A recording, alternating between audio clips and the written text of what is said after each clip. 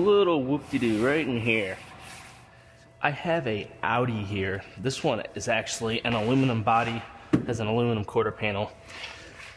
So has damage right in this area.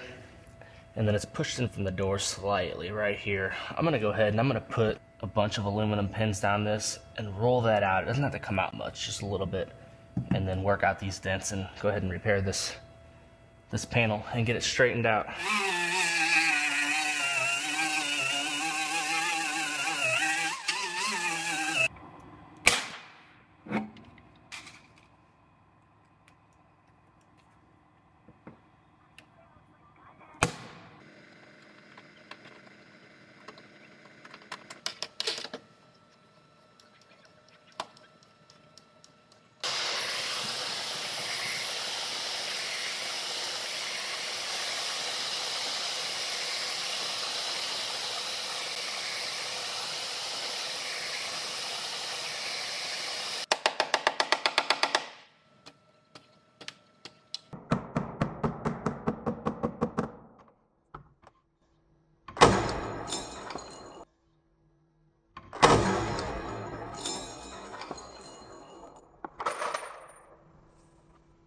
Well, it popped off, but it looks like it came out just about exactly where I want it. So that's good. I'll just work those two spots out. I got my line, and this one will be ready for fill.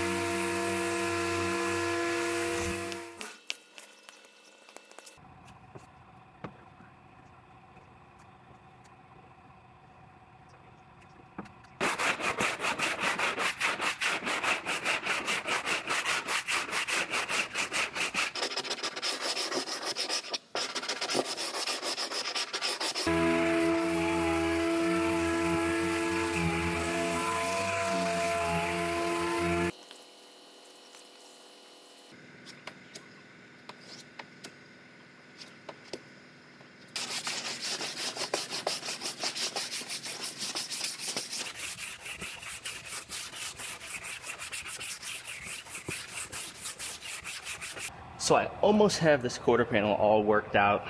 There's a little bit of a little whoop-de-doo right in here.